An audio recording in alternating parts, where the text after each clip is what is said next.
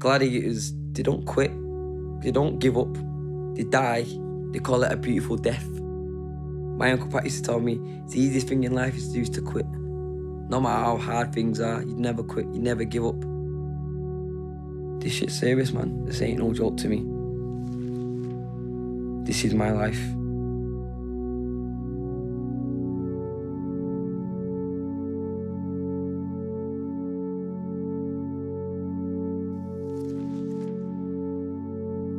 Zelf has come from a life of hell. And I mean a life of hell. A kid on the estate had nothing, absolutely nothing. It was tough growing up, man, because no one doesn't understand.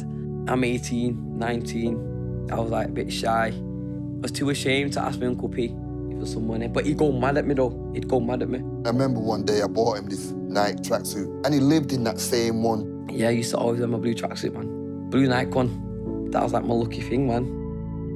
He was always messing about with boxing, and but never took it serious and went into football then. He was absolutely good at football as well. He was absolutely really good at football. People didn't have the same desire as me. So I used to like get upset when he used to get beat. I used to cry, literally used to cry like, because I wanted to win so bad. But I thought, you know what, I prefer to do boxing because it's down on me then. From there, I just said to my Uncle Pete, like, yo, I want to be a boxer. He's like, are you sure? You don't only know if you're a state kid, what estate kids do. We've all had the same opportunities.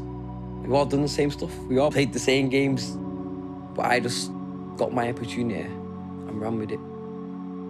The obstacles that were put there, we've all been through. I just chose not to be a part of it. And that's why people respect me. I just believed in I will become somebody one day. I will make something of my life.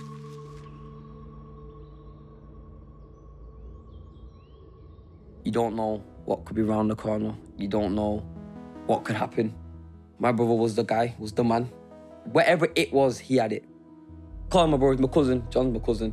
I used to live with him. It's Christmas Eve, so it was like, I gotta go to his fashion show. I was like, all right, sweet. We just got um, internet, so I'm playing FIFA online. I got a phone call from my mum, I think. I just didn't think nothing of it.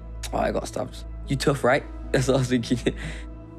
and then we got a call on Boxing Day saying we need to go to hospital, we need to have a, make a decision or whatever, I don't know.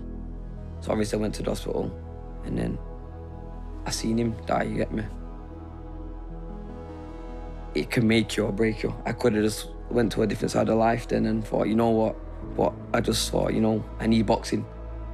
If I didn't have boxing, I just, I don't know where I would be.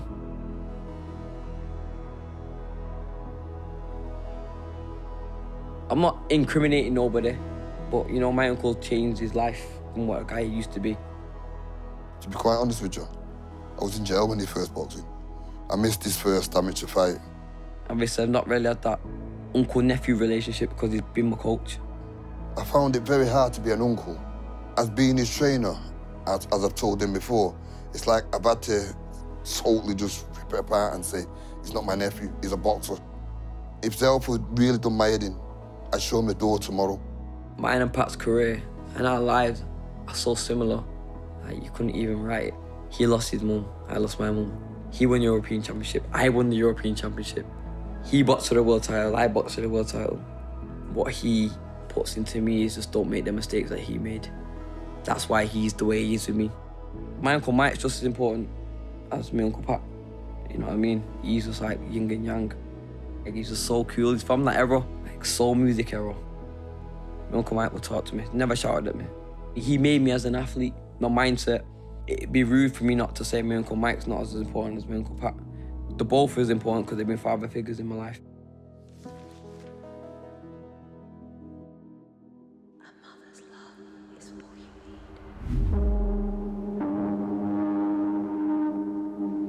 We fought with a chest infection.